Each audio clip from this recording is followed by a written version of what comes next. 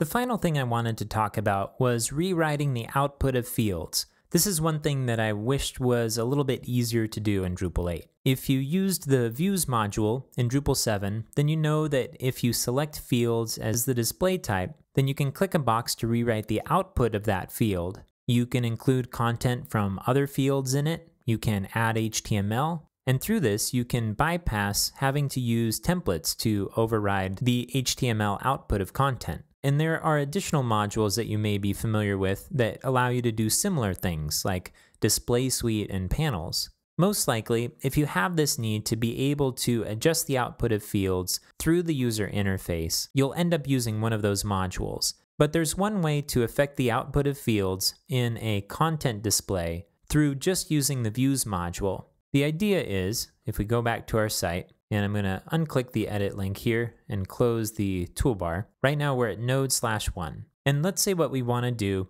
is to take the location of the article and we want to rewrite it so that it says I was posted and then the location. If we just work through the content type field settings, we're not going to find a way to do that. But what we can do is add a block to every node page, and in that block, embed a view that displays particular fields from our content and then we can hide those fields by default on the content display. So I'm going to take us partway through that process just so you can get an idea of how it works. So I'm going to go to Manage and then Structure and Views, and I'll create a new view. We'll call this Content Replacement, and we'll select Create a Block, and in display format, we're going to select Fields, and for items per block, we'll put one and click Save and Edit. And we want to associate the content of this view with the node page that we're currently on. So what we need to do first is add a filter, a contextual filter. I'm to close out the toolbar here, and we'll do a search for ID, and we'll select node ID. Now the node ID will be available to the view even if the path is rewritten for the actual piece of content, and we'll demonstrate that in a moment. I'm going to click Apply All Displays, and I'll click Apply All Displays again.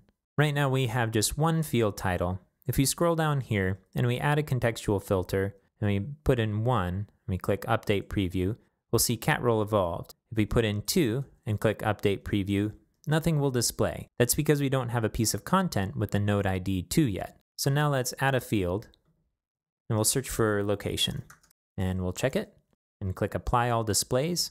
And in the rewrite results here, we'll override the output of this field with custom text.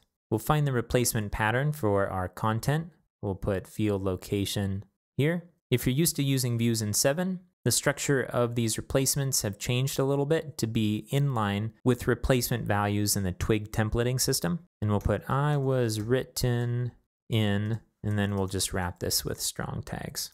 Then I'll scroll down and apply all displays. Now if we replace this preview with 1 and update preview, we're still only going to see the title because we haven't edited the location yet. I'm going to open up our article in a new tab and I'll click edit. And in the location, I'll put New Mexico and click save and keep published. Now if we go back to the view and we go update preview, it will say I was written in New Mexico.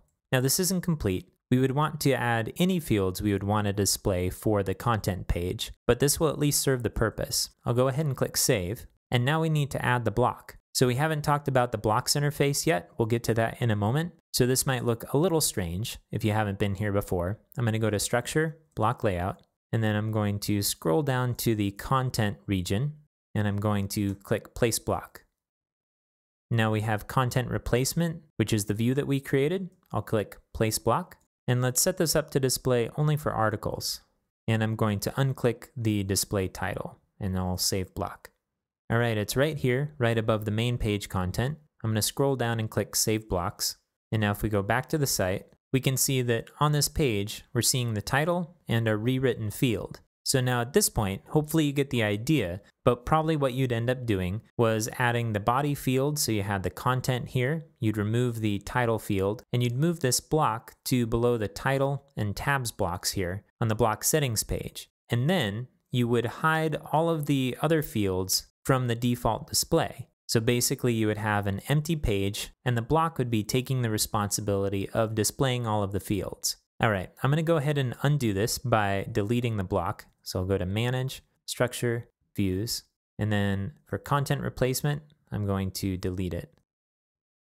And I'll go back to the site. And we're back to normal.